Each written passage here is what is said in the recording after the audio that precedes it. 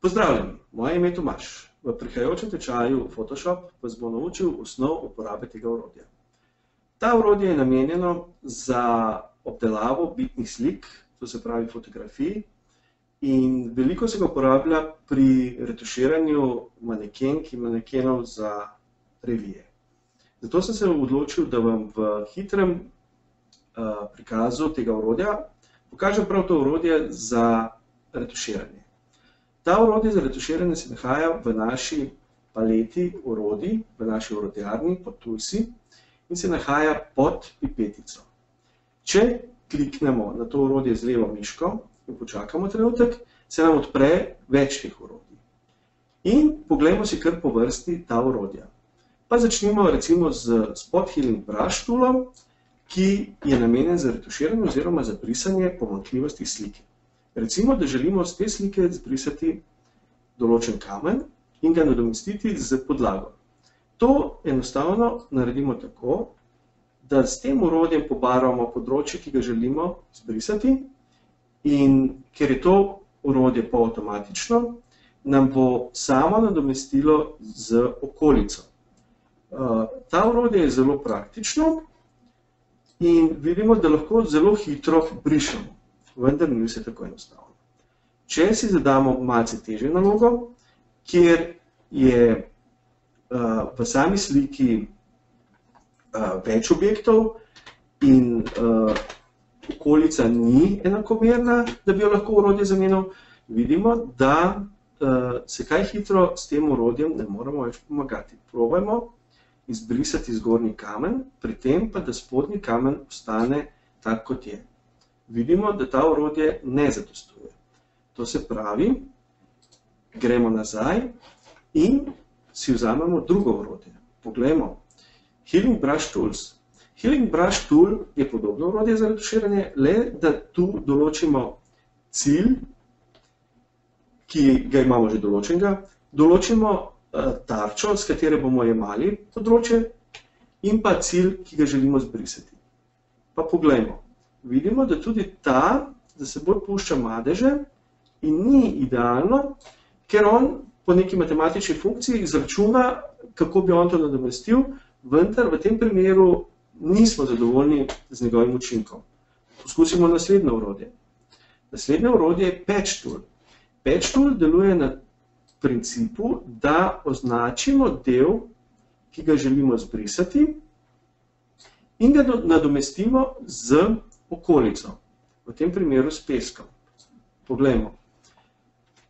Tudi ta orodje nam je pustil madež in še majčken je posegel v kamen, ki ga želimo pustiti, to se pravi, s tem orodjem tudi ne moramo narediti tega, kar smo si zadali. Poglejmo naslednje orodje. Naslednje orodje je Move Tool. Move Tool deluje na principu, da označimo predel, ki ga želimo izbrisati in ga enostavno prestavimo na drugo mesto. Seveda moramo to tudi potrditi. Vidimo, da smo objekt res prestavili na drugo mesto, vendar je na mestu, kjer je bil prej, ostal madež. To se pravi, tudi ta orodje ni namenjeno za točno to, kar želimo. Vsa ta orodja, ki sem jih zdaj predstavil, so polavtomatična orodja, kjer smo mi določili del, kjer jemljemo vsebino in kamor jo dajemo, ostalo pa je naredil program sam.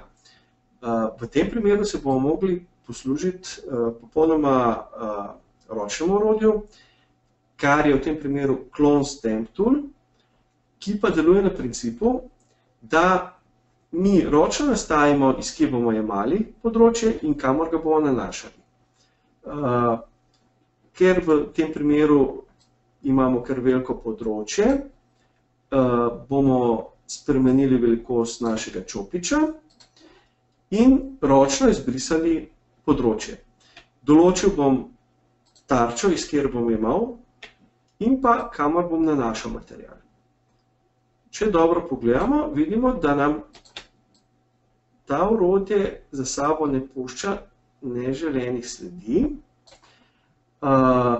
Vmes je dobro, da večkrat spremenimo področje jemanja, to se pravi tarčo, da ne dobimo ponavljajočega vzorca. Zelo je koristno, če si zadevo malce povečamo, da smo s tem lahko bolj natančni, zmanjšamo urodje in do konca zbrišemo, kar nam je še ostalo. Spet zamenjamo področje kjer jemljemo in brišemo. Eh, dobro je, da smo pri tem delu natančni, ker vsaka napakica se na koncu vidi in je nezaželena. Tako. Če sedaj pomanjšamo sliko, vidimo, da smo relativno lepo zbrisali področje, kjer je bil prej kamen, sedaj pa ga ni, poglejmo, tukaj je kamen, tukaj pa ga ni več. S tem smo v bistvu končali hitro predstavitev orodja za retuširanje, več pa seveda v nadaljevalnem tečaju. Hvala.